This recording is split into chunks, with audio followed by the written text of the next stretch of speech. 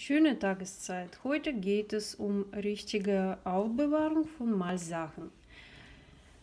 Zwei Gegenstände habe ich immer auf meinem Tisch, weil diese Gegenstände werden am Tag mehrmals benutzt. Das ist mein Pinselständer. Ich habe natürlich einen etwas größeren, weil ich ganz viele Pinsel habe. Hier finden sogar Bastelschere oder Malspachteln Platz. Der steht immer da sowohl eine ganz normale Schulmappe. Hier liegen meine Bleistifte aufgeteilt auf äh, weiche und harte, ein paar Radiergummis, Knetgummi, Anspitzer und spezielle Stifte weiße, schwarze und graue, sowohl auch zwei Wischer und auch Befestigungsmaterial. Wenn ich es eilig habe, dann befestige ich mein Blatt mit Klammern, mit einer Nadel. Aber wenn man das ordentlich machen möchte, dann sollte man am besten Crepe verwenden. Diese Mappe liegt auch immer an meinem Arbeitstisch. Für alle anderen Sachen habe ich entweder so welche Kisten von einem schwedischen Möbelhaus zum Beispiel. Hier kann man alle Bleistifte, alle Buntstifte ganz gut sehen. Da wühlt man nicht so lange herum. Aber man muss nicht unbedingt eine schöne Kiste kaufen.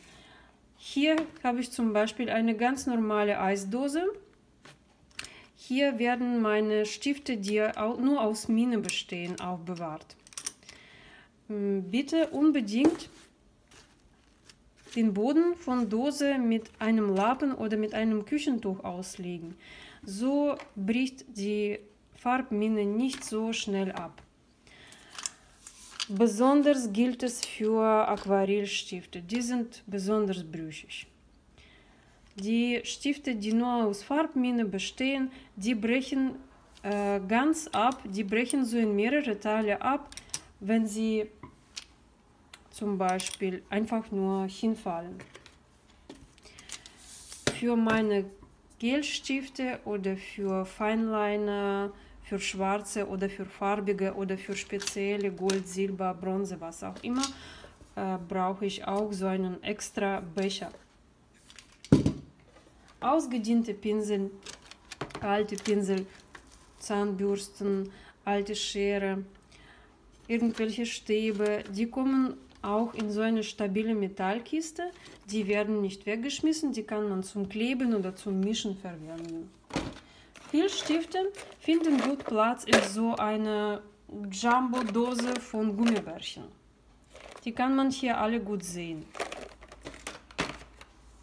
All diese Gegenstände, meine Farbstifte, meine Gelstifte, alte Pinsel, die liegen nur dann an, auf meinem Tisch, wenn ich die brauche. Ansonsten liegen die in einer Schublade oder finden Platz auf einem Regal. Das war's für heute. Viel Spaß beim Aufräumen. Bis zum nächsten Mal, denn wir haben ganz viel zu tun.